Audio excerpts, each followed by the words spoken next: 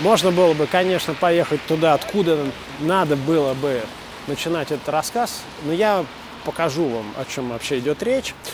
Хочу вам показать место, где э, начались вообще политические протесты России и где прошел первый политический протест. Вот оно выглядит вот так вот. Вот, вот видите, это Казанский собор. И обратите внимание, что перед ним это вот стоят кареты, но никаких деревьев еще нет. Ну, я подробно об этом, собственно, пишу вот э, и в этой книжке, и у меня и ролик есть об этом. И почему я не поехал к Казанскому собору? Да потому что хочется комбо сделать. И очередные дворы вам показать, и порассуждать на тему. Дело в том, что если вы обойдете Казанский собор с э, обратной стороны, и с правой стороны, там, э, с обратной стороны дома по проекту Стасова висит мемориальная доска, где сказано, что там 6 декабря 1876 года произошла первая в России э, политическая демонстрация, во время которой, кстати, я не помню, сказано ли об этом на этой мемориальной доске, может быть и сказано, во время которой был впервые поднят красный флаг.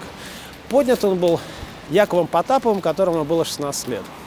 И вот э, почему я затеял этот разговор, я как бы сделал и посты у себя в соцсетях, посмотрел обратную связь, очень интересную на самом деле. Дело в том, что мы сейчас живем в такое время, когда э, считается, что Навальный выходит, выводит каких-то тупых подростков на улицу, и они, эти тупые подростки, совершенно не понимая, что они делают, э, с ОМОНом гасятся.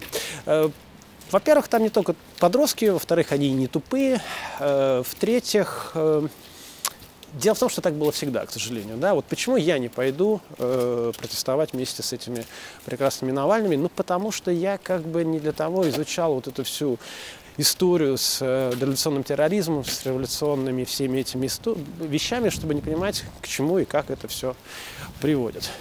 Я вам хочу показать еще одну книжку. Вот так вот она выглядит. Я всегда говорю, что моя мой интерес к истории начался с книги «Народовольство в Петербурге». Вот это вторая книга. Я ее купил практически в пандан, потому что, опять-таки, третье отделение, ничего не, не знал. И эта книга написана э, человеком по фамилии Троцкий, но он не имеет отношения к Льву Давидовичу Троцкому, тем более Лев Давидович, он же и не Троцкий на самом деле, как вы знаете. Я вам хочу прочитать э, буквально вкратце. Значит, вдова Э, этого историка э, Людмила Павловна Эйзенгард Миклашевская. Ну, не выучишь, конечно, с первого раза. В злополучный день декабря 1934 года прибежал Сережа и сообщил, убит Киров. Сережа – это известный специалист по истории освободительного движения Гессен, тоже они этим занимались. Не хотелось верить, но, ну так далее. Убийство Кирова его нас потрясло. Он пользовался большой популярностью. Сережа бежал, и вскоре Изя, это, так она называла своего мужа, продолжал сидеть в оцепенении, только кисти рук его слегка дрожали. Это бывало у него, когда он очень нервничал. Я заварила крепкий чай, мы сели за стол. Я спросила, почему в таком состоянии надо из него выйти. Он посмотрел на меня долгим печальным взглядом, что мне стало жутковато. Это только начало, сказал он. Теперь надо ждать ужасных последствий. Каких? Откуда ты знаешь? Что за чушь? Он усмехнулся и с горестью ответил. Хорош был бы я историк, если бы не мог разобраться в таком э, факте. И действительно, Исаак Моисеевич Троцкий, как ходу глядел, он был обвинен в подготовке убийства Кирова. В 1936 году его арестовали, в 1942 году он э, умер в лагере, его жена оттарабанила 17 лет в лагерях. Но дело не в этом. Вот этот момент, он все время стоит у меня перед глазами на протяжении, не знаю, там, вот, уже почти 20 лет, когда первый раз эту книжку купил. Вот человек, да, вот он как бы понимает момент – и он ничего с этим не может сделать. Ну, то есть, ну что он мог в тот момент сделать? Ну, он мог выбежать, сказать чего-то, ну и к чему бы это привело. И вот я в последние, там, не знаю, 15 лет живу с этим ощущением. Я, конечно, себя никоим образом не приравниваю к гениальному историку, отнюдь нет. Э, я там размещу ссылку на клип, который я снял, ну, клип, как на коленке сделанное трэшевое видео очередное, которое я снял еще в феврале 2012 года. Мне иногда спрашивают, вот когда я еще про Собчачку да, снимал, Собчак президенты, как вы там угадали, тролля? Да что там угадывать-то, господи? Вопрос не в знании истории, вопрос в знании мотивации человеческих поступках и так далее. И вот как бы клип был про Навального, прошло почти уже 10, 10 лет, ничего не изменилось, ну только там теперь у нас президент не Медведев, а Путин, а суть все та же самая.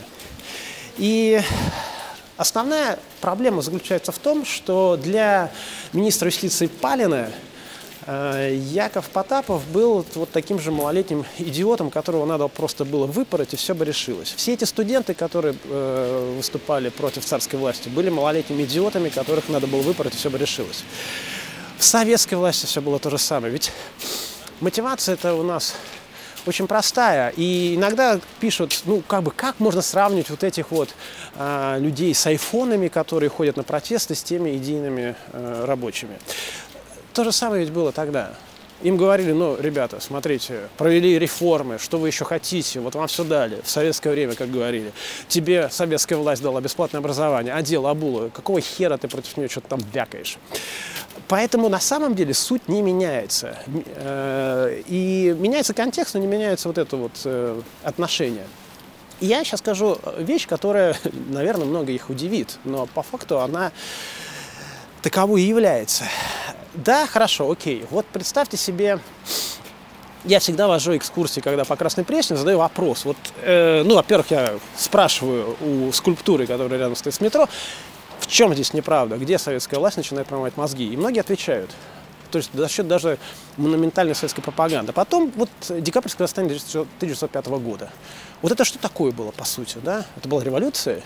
или это был Майдан. Вот это вот вечно у нас, понимаете, люди, в зависимости от своих идеологических предпосылок, они считают, что, ну, не знаю, вот сносить памятник Петру Первому и э, генералу Скобелеву в Москве – это хорошо, э, я имею тот памятник, который стоял на Адмиралтейской набережной, а вот сносить памятник Ленину – это плохо.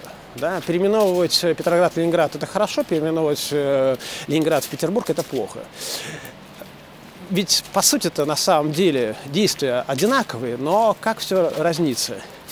И, ну, представьте себе, да, в центре города начинают возводить баррикады, начинают убивать полицейских, начинают как бы охотиться за городовыми. И это вызывает абсолютно позитивный анализ потом в советской историографии. Тебе говорят, что, ну вот, да, они были революционеры, Красная Пресня, вот, все, топонимика в честь них. А вот те, кто за ними гонялся и сажал их в тюрьмы, те были сатрапы и предатели. Меня, например, очень сильно потрясло, я абсолютно не, не защищаю царскую власть, она была тупорылая, как я не знаю, как эта стена. Но меня потрясло, что, например, в охранном отделении никогда не пытали. Да? Даже народовольцев не пытали, которые убили Александра II. Была версия, что пытали Каракозова, не давали ему спать. Ну, тем не менее. Да? И если брать, скажем, в абсолютных единицах, то да, царская власть была кровавая. Если брать в относительных единицах, это был просто какой-то вегетарианский строй. То есть даже Егора Сазонова, который тут неподалеку убил Вячеслава Константиновича Плеви, не казнили. Представляете? А Гершуня, Гершуня который возглавлял боевую организацию социалистов-революционеров, он умудрился бежать с каторги. И потом в «Нью-Йорк Таймс» печатал, я вам сейчас покажу скринчик, печатал воззвание о том, что он не порочил звание Рузвельта. Это клевета, что к нему это приписывают. Да? И, соответственно, ну окей, хорошо. Э, вот мы имеем дело с тем, что Навальный уже много-много-много лет выступает. Вот, кстати, посмотрите, какое чудесное место, да? Всегда его показываю. Выступает против. И, э, скажем так, так называемых вот среди Эмма Коммуняк, он считается агентом Госдепа и так далее.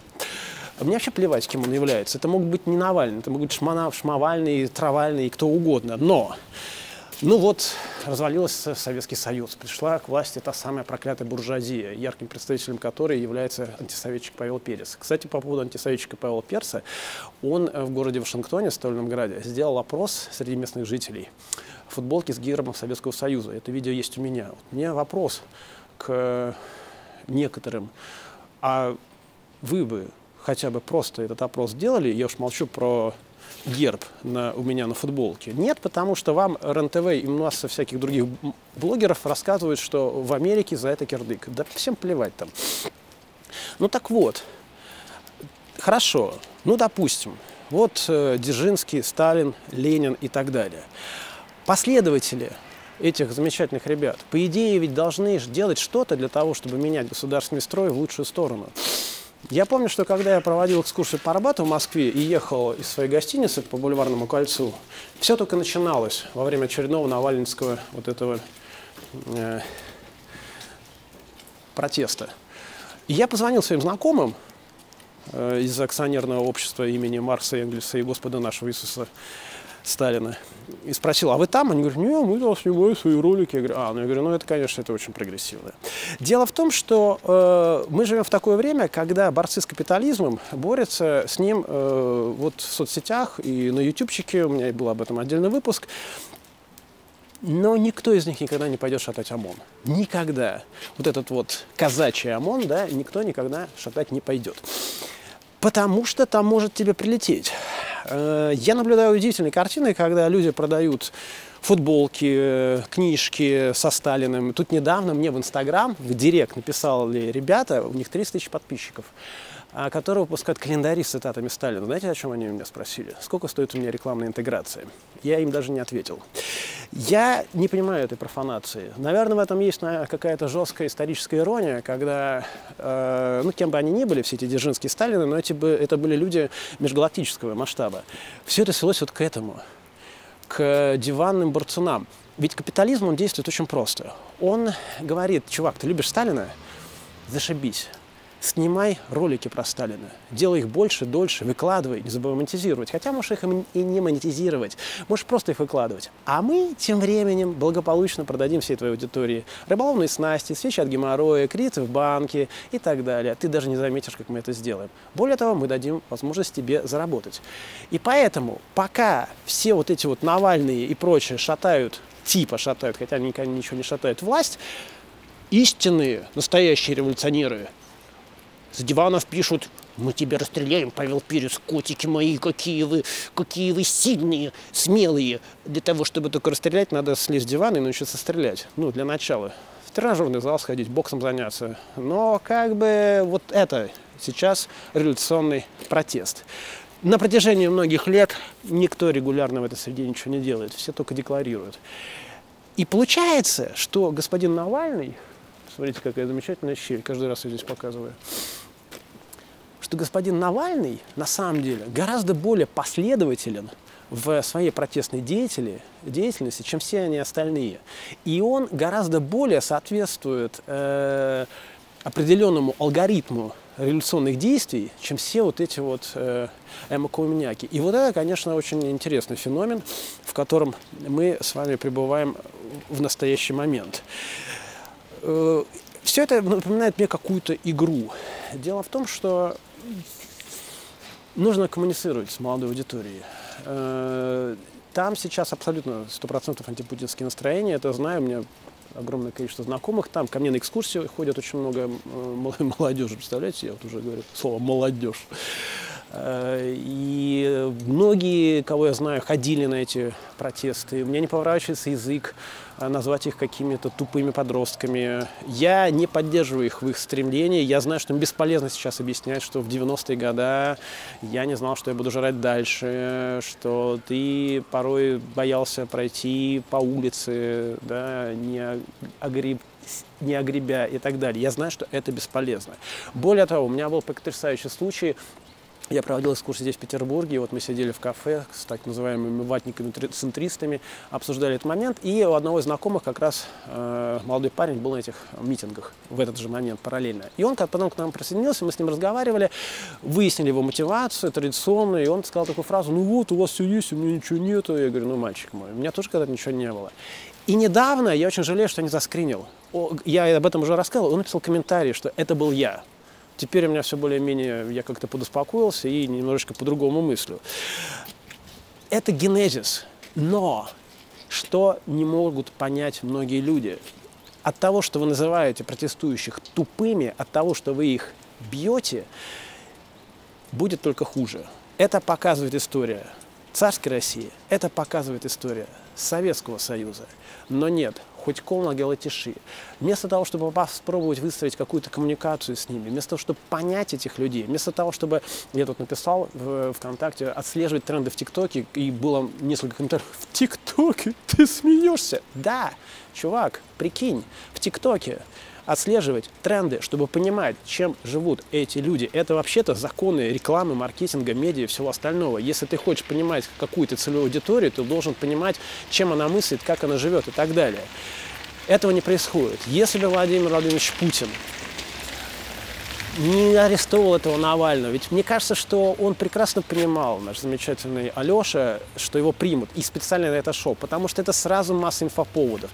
Каждый протест – это миллиард фоток по всем соцсетям. Нью-Йорк Таймс э, и э, вплоть до газеты «Сам» все об этом напишут, понимаете? Опять у нас мочкуют. Если бы Владимир Владимирович Путин э, замечательный наш президент не нырял в прорубь, хотя я это очень уважаю, он молодец большой, но не только бы нырял в прорубь, а, допустим, собрал этих всех тиктокеров и сказал, э, ребята, очень все круто, что вы делаете. А вот, допустим, Андрей, вы, да, смотрите, какой у вас прикольный видеоролик, а вы не хотите начать снимать какие-то исторические, может быть, что, ну, например, я не, просто не наставлю рекомендовать. Смотрите, например, бывают такие вещи, вот видите, люк, да, вот казалось бы, просто люк. А написано оно «Жил союз Ленинграда», канализации. То есть это еще старый именно ленинградский люк. Обратите внимание, что он меньшего э, размера. Я не хочу сказать, что это решило бы проблему, но это был бы первый шаг навстречу. Но Владимир Владимирович Путин этого не делает. И никто вокруг него ему не подсказывает, что ему нужно делать в этот момент, если он сам не догоняет. Да? И в итоге мы имеем вот эту патовую ситуацию, когда некая среда, которую у нас трактуют как э, тупой. Вот еще я сейчас вам покажу один из моих любимых моментов. Видите, мы тут все по кругу ходим. Во-первых, эта щель прекрасно отсюда замечательно читается. Ну и вот, видите, окно в окно, наша традиционная история. Эту среду, которая, ну, ей бесполезно что-то объяснять, и их оппонентов, которым тоже бесполезно что-то объяснять. Потому что ведь это всегда прекрасное. Э, некие ребята и ОМОН. ОМОН, он всегда будет крайний. Он был крайний в царские времена, он был, менты были крайние в советские времена.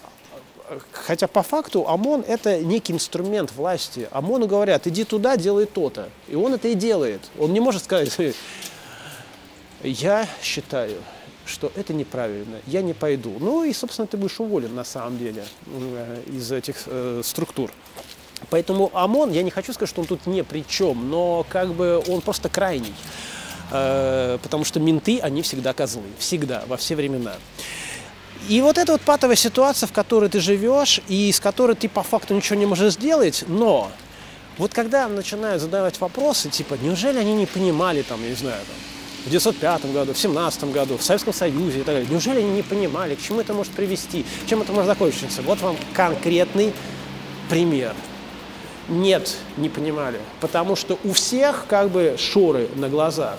У одних одни, у других другие. И власть вместо того, чтобы разрубить этот Гордиев узел и ну, как-то попробовать ситуацию смодерировать, она ее только усугубляет. И на самом деле я сейчас чувствую, как нарастает вот это напряжение потихонечку с каждым годом. Хотя я не могу сказать, что ситуация на стране прям катастрофическая. Да, пахнет керосином, но не так, допустим, как в тех же самые 90-е годы. Так вот, власть этого сознательно не делает и сознательно не идет э, ни на какой диалог с э, протестными движениями. И что самое главное, ведь там не только эти самые тупые подростки, есть и взрослые люди, и причем я бы не сказал, что даже тупые. И если вы помните из э, курса моих лекций о народной воле, да вообще во всех остальных, народовольцы, когда начинали свою деятельность, вот особенно был такой кружок чайковцев, они все были белые овечки. Они вообще не думали даже ни о каких убийствах. Но пройдет время, и они грохнут Александра II. Я не к тому, что вот эти ребята, и не только ребята, которые сейчас на митинги, начнут заниматься террористической деятельностью, потому что у нас э, сменилась на самом деле э, и охранительная структура, то есть ты теперь не поездишь спокойно с поддельным паспортом в Европу и обратно. Нет, но то, что будет происходить определенная радикализация, если ничего не будет меняться по части работы с этой аудиторией, это однозначно. И почему стратегически этого не видят там, нет ответа. Но к чему это может привести, есть ответ. А на вопрос, а что ты, Павел Перец, сделал для этого, я вам, ребята, позволяю высказываться у себя на всех ресурсах, свободно. Вы можете писать, что хотите. Я реально никого не баню. Вот вчера забанил одного человека, который мне писал на протяжении нескольких лет. Но дело в том, что это традиционная история. Я любитель Сталина и Ленина, но барыжа бусами. Да, и продаю их на Авито. И, соответственно, я ему раз написал, не надо это дело рекламировать у меня посредством ваших высеров. Два написал, три написал, четыре написал. Но в итоге забанил. Исключительно поэтому. А так, пожалуйста, пишите, потому что я считаю, что лучше писать некоторым э, здесь, чем, не знаю, детей по кустам трахать. Так хоть какая, какой-то выплеск энергии. Единственное, что я хочу сказать, что поскольку вся революционная борьба происходит на территории капиталистического YouTube, то капиталистический YouTube диктует свои правила. В последнее время я стал замечать, если раньше я все оскорбительные комментарии вынимал из спама, свой адрес я имею в виду, вынимал из спама, то теперь я вижу, человек что-то написал, типа Павел Перец и так далее, а его даже в спаме нет. То есть система сама вас уже начинает банить. Искусственный интеллект начинает давать свои плоды, поэтому э, не удивляйтесь, если что-то все-таки не появится. Я здесь ни при чем. Я это не, удив... я это не удаляю, я наоборот э, постоянно мониторю то, что у меня находится в э, нежелательных комментариях или в спаме, и э, старательно это дело вынимаю. Поэтому пишите то, что вы хотите, ну и посмотрим, как будет ситуация развиваться. Клип на песенку про Навального я размещу вот там внизу. Увидимся. Пока.